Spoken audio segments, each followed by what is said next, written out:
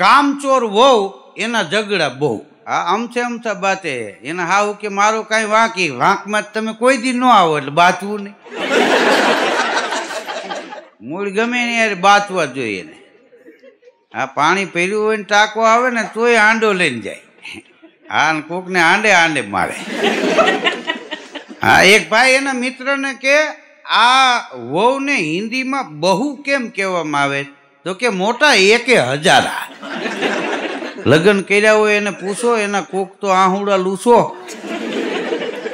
આ તમે જુઓ ને કે વરાજાની સાથે અણવર જે જાય, એની સેવા ચાકરી કરે. મૂળ તો બે દી હોય.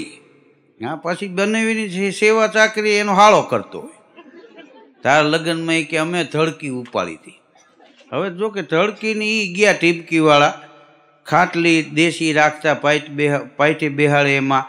આ માંડવા અહીંથી બેઠા હોય ને કે પાઇટી બેહાડ્યો. કેટલી વસ્તુ ખોટી છે. બાઈએ બાળકને કઈડમાં તળ્યું હોય તો કે કાંખમાં તળ્યું છે. કાંખને કઈડને કેટલો ફેર? સવારમાં સાસુ વહુનો ઝઘડો થયો. બે બાયચા હાવ હોવ. તો હોવે ફિનાઈની બોટલ ઉપાડી. અને રૂમમાં ગરી ગઈ તો એની હાવ રાળો રાડ દોડો દોડો પિનકી ફિનાઈ પીવા ગઈ. રાળો પાળોના બધા ડોસીઓ નોનીઓ જોઈ ને? બધા ભેગા થઈ ગયા ને આંટો ફરી ગયા ને બોટલ આંચકવા માંડ્યા ને ઓલી હો કે ભાઈ, હું પીતી નથી, મારે બાથવામાં પોતા કરવાનું બાકી રહી ગયું છે. અને હું કોકને પાઈ દઉં પીવું નહીં. સમાજ સુરક્ષામાં ફોન કરો ને, આખા ઘરની કે હળિયા ગણતા કરાવી દો. હવે અટાણની અમુક અમુક આવી અજડબાયું છે. એ પીવે નહીં, કોઈથી બીવે નહીં. હા, બીજાને પાઈ દે. મંદિરમાં એક બેન ગયા અને ભગવાનને પ્રાર્થના કરી કે, હે ત્રિલોકના નાથ, હે અખિલ બ્રહ્માંડના માલિક, અમે કેટલા વ્રત કરીએ છીએ? કડવા ચોથ કરીએ ને પોચી પૂનમ કરીએ ને એવ્રત જીવ્રત કરીએ ને દશામાના દોરા કરીએ ને તોય અમારા પતિનું આયુષ્ય કેમ નથી વધતું?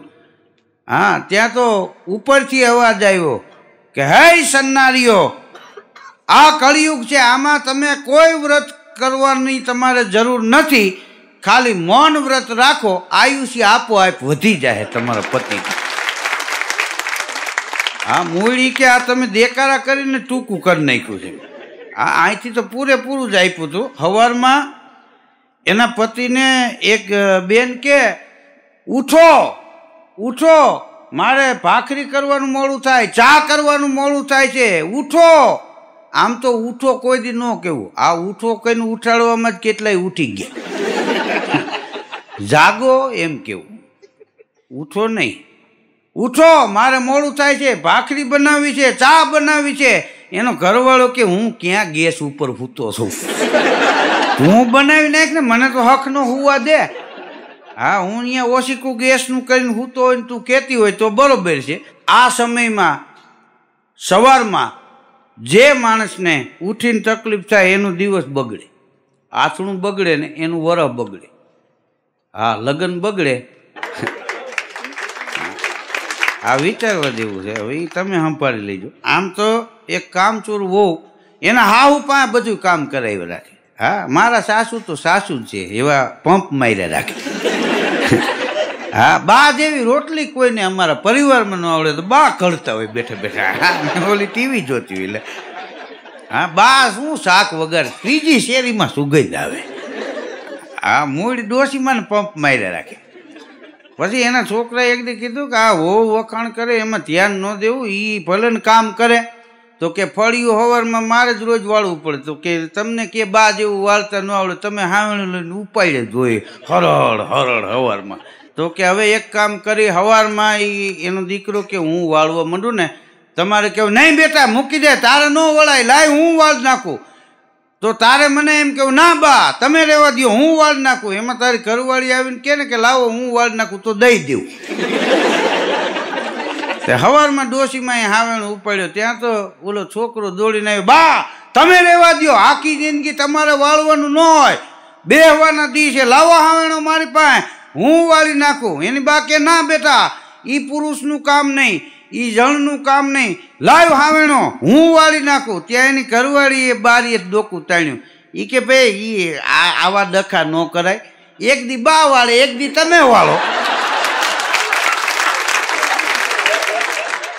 હપીન કામ કરો, હપીન કામ કરો. આપણી ઘેરે ભગવાનનો દીતો દી છે. મારા જેવી તમને હોવું જડી. હા. એના ને એના વખાણ કરતા હોય, બોલ. એક, બેન, એની બેનપણીને કે, મારા સાસુ એ કે રોજ કચકચ કચકચ કચકચ કર્યા જ રાખે. આમાં કેમ જિંદગી કાઢવી? તો એની બેનપણી કે, હાલ્યા રાખે. તારા સાસુ ખૈરું પાન છે, આજ છે અને કાલ નથી. તો ઓલી બાઈ કે, કાલ નથી, પણ આજનું શું કરવું એ કે. રસોડામાં કુકરમાં સીટી વાગે તો હળી મૂકે. જોઈજે શાક બળી જાય નહીં સંભારો બળી જાય નહીં હા, ચટણી કાલે કે હું ખાંડતીથી દોડીને આવ્યો જોઈજે લાદી તૂટી જાય. ત્યાં ચટણી હું મારા માથા માથે ખાંડવી. આમાં અમુક જગ્યાએ પાછ બધાયનો વાક હોય, નકર વહુનો વાક ન હોય. મા દીકરો બે બજારમાં જાતા હતા. તો એની ઘરવાળી કે, તો તમે બે જાઓ છો, તો મને લઈ જાઓ તમને હું વાંચો? તો કે, અહીં ઘેરે કોણ રહે? તો કે બાને રાખી દ્યો ને હા, એનું શું કામ છે? થાય એને એ કે બજારમાં હવામાન માફક ન આવે, લૂ લાગી જાય. હા, હું આવું ભલે માંદી પડી જાઉં, પણ પાછી ન પડું. એને લડી જ લેવું, એને શું છે? એક ભાઈએ તો વોટ્સએપમાં મેસેજ લખેલા કે ના દીકરી સાથે રહેશે, ના દીકરો સાથે રહેશે, પત્ની સાથે સારા સંબંધ રાખો. ગઢપણમાં એ સાથે રહે, સાર સંભાળ એ રાખશે આપણી સેવા એ કરશે. હા, અને પછી લખ્યું એ કે આ લખાણ મારી પત્નીએ રિવોલ્વર ટાંકીને લખાવ્યું છે. એની નોંધ લેવા વિનંતી. એક ભાઈ એના મિત્રને કે, હમણાં કેમ એ કે ઓફિસે તમે વહેલા આવી જાવ છો? હું આવું એ પહેલાં તમે ઓફિસમાં આવી ગયા હોય, રોજ સવારે તમે વહેલા આવો અને મોડે સુધી બેસો છો. તો કામ વધારે રહે છે? ઓલો કે, ના રે ના, મારા સાસુ આટો મારવા આવ્યા છે ને. હું ઘેરે જાઉં મારી ઘરવાળી કે, બાને મંદિરે લઈ જાઓ. બાને ધૂનમાં લઈ જાઓ. હવે એક વાર બી કે, બા, બેરા. ઓલા ધૂનનો ઉપર કાંઈ કરે બા કાંઈ કરે. હા, મારે તો આ બધું સાંભળું ને એના કરતાં અહીંથી જ હું મોડો જાઉં. બા હુઈ જાય ને ત્યાં હું જાઉં પોસા પૈકી. જુઓ જાગી જાય કે, હજી એક ચક્કર મરવું આને હા, આવો કંટ્રોલ આવી જાય. હવે કે સાસુ વહી જાય તો સારું હા, નકર હું વયો જાય આમાં નક્કી નથી. પતિ પત્નીને કે મારા બાપુજી કે તમને ખબર છે કે ના, પત્ની કે મારા બાપુજી ઉડતા પંખી પાળે એવા શિકારી છે. તો ઓલો કે પેલો શિકાર જ મારો કર્યો. એ તારા બાપુજીને ઓળખું, હું ઓળખું, સારી રીતે ઓળખું. તારી બાને ને તારા બાપુજીને બેયને તારા ભાઈને પગથી માથા સુધી ઓળખું. હા. કે પાનની દુકાને ગયા હોય તો કે તમે ઊભા હોય ને અમે પૈસા દઈ તો જીજાજી ખરાબ લાગે. હા તે અમે દઈએ એ સારું લાગે. હા એમ કકલાવતો. એક ભાઈ દવાખાને ગયો ને તો ડૉક્ટરને કે મને તબિયત બરોબર નથી. તો ડૉક્ટરે ચેક કર્યું. આ બધા રિપોર્ટ કરાવ્યા. એ રિપોર્ટ જોઈને ડૉક્ટરે કીધું કે તમે બાર કલાક જીવશો. તેરમી કલાકે મરી જાઓ. પછી તો ઘેરે ગયો એની ઘરવાળીને કે હવે હું તો સવારે મરી જવાનો છું. આજ આખી રાત સુખ દુઃખની પેટ ભરીને વાતું કરી લે. તો એની ઘરવાળી કે તમારે મરી જવું, મારે સવારે કેટલા કામ છે? એકસો આઠની વ્યવસ્થા કરવી તમારા માસાને ફોન કરવાની. બધા આટલા વાગે આવી જઈજો. હા, હું હોઈ જાઉં છું. તમે એકલા એકલા સુખ દુઃખની વાતો કરો, બહુ ફાકીના ફાંકડા માર્યા. હા, ગાંઠિયા ખાવામાં કોઈ દી લઈ ન ગયા એમ. અને હક દખમાં અમે એમ. હા, હું તો આ હોઈ ગઈ કે તમે બાર કલાક સુધી જાગો, પછી કે જાવું છે વાં તમારે. હા ત્યાં પછી બીજું શું કામ છે એમ. દવાખાને એક ભાઈને દાખલ કર્યો. તો એમાં ડૉક્ટરે એના રિપોર્ટ જોયા. રિપોર્ટ જોઈ અને ડૉક્ટરે કીધું કે ત્રણ ઇન્જેક્શન તમને દરરોજ એક એક દેવા પડશે. તો ઓલો કે સાહેબ ઇન્જેક્શન ન ખમાય. ગોળી હોય દઈ દો ભાઈ કે આમાં ગોળી ન હાલે. કે ભાઈ ઇન્જેક્શન મારાથી ખમાય નહીં. તો કે પછી આમાં મારાથી આ નહીં થાય ન થાય. કાંઈ નહીં કે બીજા દવાખાને જાઓ. નાખે. હવે બીજા દવાખાને નહીં થવાનું હોય. આ લોકોનો એક વેમ હોય છે એમ કે તમે ન આપો તમે આમથી લઈ લેવું ને અમે આમ કરી નાખશું. એ માનસિકતા છે. એક બેનને દવાખાને લઈ ગયા ને, તે ડૉક્ટર કે, તમને દાખલ કરવા પડશે. અને તમારી ઉંમર કેટલી? કારણ કે એનો પેથીયાનો ડોઝ આપવાનો છે. તો ઉંમર પ્રમાણે દેવાય. તો એ બેન કે, ચોવીસ વર્ષ. ડૉક્ટર કહેજો સાચું બોલજો. એનો પેથીયાનો ડોઝ દીધા પછી આમાં કાંઈ આડઅસર થાય. તો મને ન કહેતા, ઉંમર છુપાવતા નહીં. તો કે, ઓગણચાલીસ વર્ષ. ડૉક્ટર કે, બેન, હજી તમે વિચારી કહેજો એનો પેશિયનનો ડોઝ છે, લીવર ઉપર, હૃદય ઉપર, કિડનીમાં અસર થાય. તો મારી જવાબદારી નહીં, તો કે ઓગણપચાસ વર્ષ અને હવે મારી લાશ નીકળે તો હું ન કહું આનાથી વધારે ઉંમર. મૂળ સાચી ઉંમર કેટલી હતી તો એને કીધું જ નહીં હો. હા, ચોવીસથી ઓગણપચાસ વર્ષ સુધી લઈ ગયા. ત્યાંથી આગળ ન ગયા. આપણે, તમે જો, કેટલાય ગઈ ત્યાં મરી ગયા ને પચાસ વર્ષથી વહીત્યા જ નહીં. તમે પૂછો, કેટલા વર્ષ પસા જેવું હોય છે એમ? તો કીધું, આ અમે નાના હતા તેદું ના કયો છો? આ ત્રેપન મુદ મારે હાલે. અમદાવાદમાં એક ભાઈના ઘર પાસે માણસની લાંબી લાઈન લાગેલી. તે ઈવડો એ આવીને આમ દરવાજા બાજુ જાતો તો બે જણા બાવડું ચાલીને કે લાઈનમાં મારી કે દોઢ કલાક થયા અમે ઊભા છે. ખબ ખબ કરતા ધોળ્યા જાવ છો. તમારે કામ એમ, અમારે કામ નહીં હોય? તો ઓલો બિચારો હાથમાં થેલીને એ વાહે ઊભો રહી ગયો. પછી ઓલા વાતું કરતા, તમે ક્યાંથી આવ્યા તો કે હું તો બાપુનગરથી આવ્યો? તમે કે હું ઘાટલોડિયાથી આવ્યો? તમે કે હું રિંગ રોડેથી આવ્યો? તમે કે હું પાલડીથી આવ્યો? પછી ઓલો વાહ થેલી લઈને ઊભો રાખ્યો, તેને કીધું, તમે એ કે ભાઈ મારું જ મકાન છે, હું બકાલું લેવા ગયો ના હું થયું ભગવાન જાણે. હવે કોકે ત્યાં બોર્ડ મારી દીધેલું કે પત્નીને વંશ કરવાનું માદળિયું ફક્ત ત્રીસ રૂપિયામાં કરી આપવામાં આવશે. એના સારું લાઈન લાગી. અને આપણે અહીંયા ઘણી વાર એવું થાય છે, આખો દિવસ જે માણસ ગામના જોશ જોવે ને એ હાઈ જે પાછું બીજે જોવડાવ ગયું હોય. હા, અને જે લોકો કામ નથી કરતા, અને જોવામાં ચડી જાય દોરા ચાગામાં. કામ ન કરે. હવે જે કામ નથી કરતા એની પાસે વેપારી જાય. ધંધો બિઝનેસ સારો હાલે એનો દોરો કરી દો હવે આને કીધું જિંદગીમાં નથી કર્યું. અને એ દોરો કરી દે, તમારું કારખાનું હાલે એવું હું નથી માનતો. હા, લોકોને દોરા જ કરવા છે કામ નથી કરવું. મોલમાંથી એક બાપા અને ડોશીમાં ભેગા ગયેલા મોલમાંથી ડોશીમાં એક બિસ્કીટનું પેકેટ ચોરી લીધું. હવે ડોશીને ખબર નહીં કે અત્યારે સીસીટીવી કેમેરા આવી ગયા. હા, તો બહાર નીકળ્યા પકડાઈ ગયા. બિસ્કીટનું પેકેટ નીકળ્યું. પોલીસવાળા આવી ગયા, ફરિયાદ લખાઈ ગઈ, એફઆઈઆર ફાટી ગઈ, કેસ આવેલો કોર્ટમાં. તે બાપા અને ડોશીમાં બે ગયા. બાપા તો આમ છેટા ઊભા હતા ડોશીમાં પિંજરામાં ઊભા રાખ્યા. સાહેબે પૂછ્યું કે બિસ્કિટ કેટલા હતા પેકેટમાં? તો કે દસ. દસ દિવસની સજા આપવામાં આવશે. તો સામેથી ઊભા થઈને બાપા બોલ્યા કે સાહેબ, એક મમરાનું પડીકું લીધું એને. હા, અને ગણજો. જેટલા અમારે દુઃખના દાડા કપાય બીજું તો અમે શું કરી શકીએ આમાં? મૂળ ડોશી વધારે આમાં રહીએ, એમાં એને રસ હતો. બાઈએ એના ઘરવાળાને કીધું, સાંભળ્યું કે શું? કે મારા પિયરવાળા આવ્યા છે, એને જમવાનું તો પૂછો. તો ઓઈલો ન્યા જઈને કે, તમે જમીન આવ્યા છો કે ઘેરે જઈને જમવાના છો? આની પાસે શું કાટ લેવું એમ? બાઈએ ઓમ જમવાનું કીધું, તો આને ઓમ જમવાનું કીધું. હા? ખવડાવીને ખુશી થવું એવા પાછા ઓછા માણસો હોય. હા, અમુકને મહેમાન આવે તો ભાવે અને અમુકને ન આવે તો ભાવે હા, તમે ક્યારે આવ્યા? ક્યારે જવાના? હા, તો કીધું, આ વહેલો ફોન કર્યો તો રસ્તામાંથી કાઉં માર લે. હા, એક બેન બદામ ખાતા હતા ઉપા ઉપા ડેલીએ. એનો ઘરવાળો આવ્યો એ કે, એક આદી બદામ દે, હું સ્વાદ લઉં. તો એક બદામ જ આપી. હા, તો ઓલો કે બસ એક જ તો કે બધી બદામનો સ્વાદ હરખો જ હોય.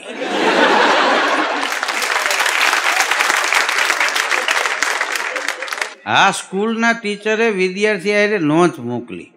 અને એમાં લખ્યું તમારો છોકરો ભણવામાં બહુ હોશિયાર છે, ડાયો છે, કયાગ્રો છે, પણ છોકરીઓ સાથે વાતો કરવામાં સમય બહુ બગાડે છે. એ છોકરાની મમ્મીએ વળતી નોંધ મોકલી. હા, કે આનો કાંઈ ઉકેલ હોય તો બતાવજો ને આના પપ્પાને એ જ તકલીફ છે. મૂળા પેટીએ ચડી ગયેલા એમ.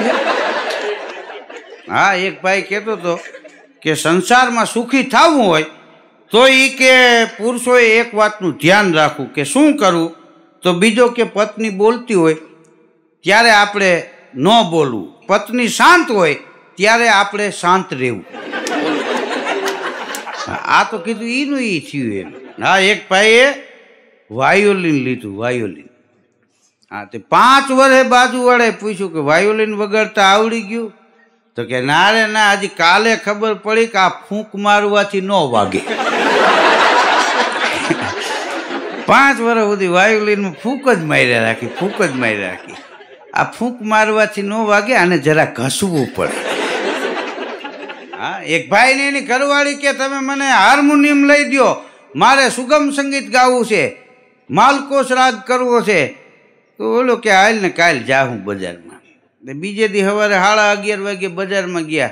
તો હાર્મોનિયમની દુકાન પહેલાં એક પાવાની દુકાન આવી. એનો ઘરવાળો કે હાર્મોનિયમ નથી લેવું, પાવો લઈ લે બકા. હરવો પડે બકા.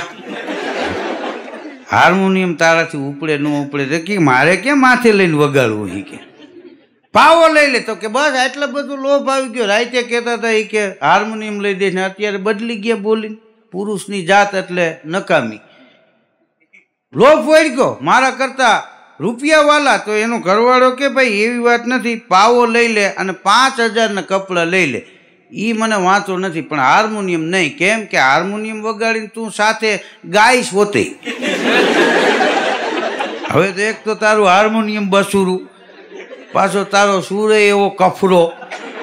અને પાવો વગાડતા હોય એ ગાય ન વાગે ભલે એકલા એકલા મૈથા લાગે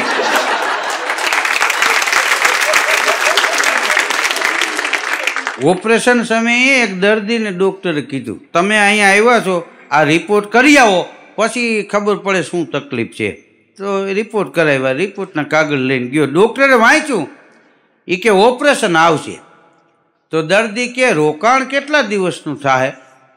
તો ડૉક્ટર કે ઓપરેશન સફળ થઈ જાય, તો એક અઠવાડિયાનું રોકાણ થાય. બાકી હમણાં કલાકમાં પીએમ કરીને છૂટા કેરે પાસે કંટાળ્યા હોય, દવાખાને લઈ જાય. મને ઘેરે લઈ જાઓ. પણ કીધું ત્યાં તો રાયડું નાખતો હતો. હા? આય મને ગમતું નથી. દવાખાનામાં કોને ગમે ભાઈ? હા ત્યાં કાંઈ આનંદ કરવા કોઈ આવ્યા ન હોય. જેટલા આવ્યા હોય એ દુઃખી જ આવ્યા હોય. રબર જેવા મોટા ને બિચારા રિપોર્ટની રાહ જોઈને બેઠા હોય ને કોઈ લોહીની રાહ જોઈને બેઠા હોય ને ત્યાં દવાખાને કાંઈ જલસો જ ન હોય. દવાખાને જાઓ તો એમ થાય કે અડધી દુનિયા માંદી હા, તમે એરપોર્ટ જાઓ તમને એમ થાય કે આખી દુનિયા પ્લેનમાં ફરે છો. આપણે જ જાય છે એવું નથી. બસ સ્ટેન્ડ જેવો ટ્રાફિક ત્યાં એરપોર્ટમાં થાય છે. મુંબઈ ઉપડવામાં દોઢ દોઢ કલાક નીકળી જાય એટલી પ્લેનની લાઈન હોય છે.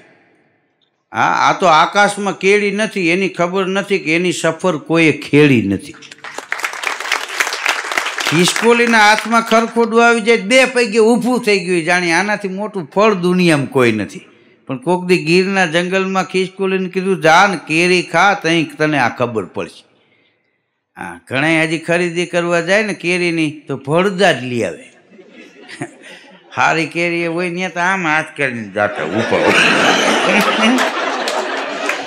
ખાટા બળ ભળદા હોય ને, આવા લાંબા. આ તો કેરી છે કે કેરો છે, ખબર ન પડે આપણને. એવા પડદા ખીરે લઈને જાય ને, પછી એનો રહ કાઢે. હવે છોકરાઓને કે ગોટલિયું સૂહી લ્યો. એ ગોટલીઓ સુમી લે પછી એને હૂકવી નાખો, એને શેકીને એનો મુખવાસ બનાવે, બોલો. અને બે પળિયા હોય એના પટપટિયા બનાવીને મેળામાં વેચતા હોય. કીધું, હવે તો આનો હગડ મૂકો. આમ તમે જુઓ ને, તો માણસના જીવનની ત્રણ અવસ્થા છે, બાળપણ, યુવાની અને ગઢપણ જેમ દિવસમાં સવાર બપોર ને સાંજ હોય છે એમ માણસના જીવનની ત્રણ અવસ્થા હોય છે. યુવાની મધ્યાહન તૈપો કહેવાય. હા યુવાનીમાં કોઈ માણસ જે કંઈ કરવું હોય એ કરી શકે. પચાસ વર્ષ ટપી ગયા પછી એ કાંઈ થાય નહીં. ઘણા એ કે પછી આપણે નિરાયતે જમાવશું. પછી કીધું દાંત પડી ગયા પણ હું જમાવે. હા યુવાનીમાં કામ કરો. હા, તો એ ઘટપણમાં કામ આવે. તમે સમયને સાચવી લ્યો તો સમય એક દી તમને ચોક્કસ સાચવી લે. એ જરૂરી છે. તમે જો નાના બાળકો રમતા હોય અને એ રૂમમાં પડી જાય હોંશરીમ પડી જાય ફળી એમ પડી જાય એને ફ્રેક્ચર ન થાય. શું કામ એ નમે એમ ના પડે? ડાબી બાજુ નમે ભફ દઈને પડી જાય, જમણી બાજુ નમે ભફ દઈને પડી જાય. આપણા પગ હું કામ ભાંગે કે આપણે ડાબી બાજુ નમીને તો જમણી બાજુથી હતાણ થાય. હા, જેટલા ઈશ્વર સામે હતાણ થયા એના પગ જ ભાંગે આમાં. હા, એક એક ભાઈ દોડીને બાથરૂમમાં ગળી ગયો હાબુ ઉપર પગ આવ્યો. હા હાબુ કોને મૂક્યો? અહીંયા તારી કીરે કોણ મૂકી ગયા હોય? ઘરના જ મૂક્યો ને હાબુ બાથરૂમમાં જ મુકાય. એને કાંઈ ફ્રીજમાં દૂધ પાસે ન મુકાય. હા મૂળ તું અળી કાઢીને ગળી ગયો એ નથી કહેતો. એટલે પોતાની ભૂલ પોતે નથી સ્વીકાર તો આ ત્રીજા રાઉન્ડમાં પણ આપે. મને સાંભળ્યો એ બદલ ખૂબ ખૂબ આભાર, ધન્યવાદ.